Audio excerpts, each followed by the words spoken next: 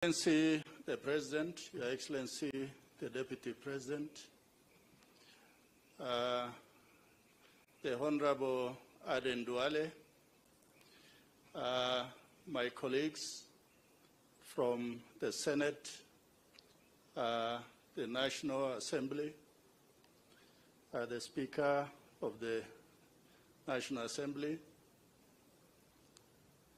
distinguished guests, uh, ladies and gentlemen,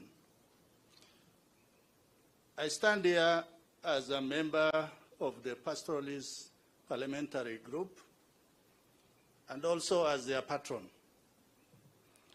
I am a third member of Parliament representing the constituency of Saku in northern Kenya, Marsabit. I'm privileged to be here and to speak on behalf of my colleagues. Honorable Duale, we found him in Parliament. He was not just a brother, a colleague, but he was like a father figure for those of us from the North. We learned many from him, and at the same time, he allowed us to hold firm positions, to be loyal and truthful, and to be also respectful to the course we take. Having read his book, I begin to understand why somebody like His Excellency the President actually became the President of Kenya for the firm position he took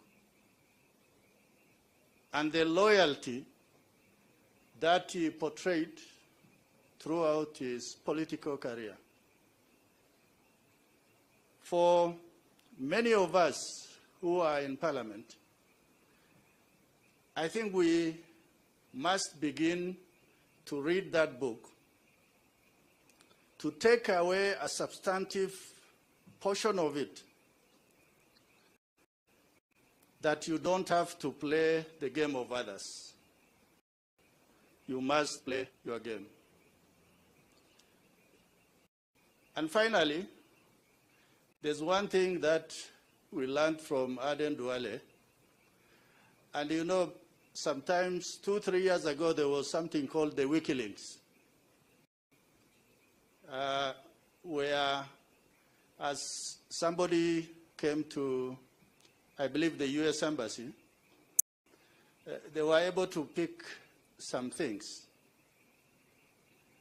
And then somebody else relayed, and uh, this thing was serialized internationally. Uh, and sitting with a smart person like Aden Duale, one must be very careful that you don't drop the pen because he will note it very quickly that this is something. And throughout, he carries around a book. For him having been the leader of majority, I think sometimes he made the ultimate price for his politics, and sometimes even we feared that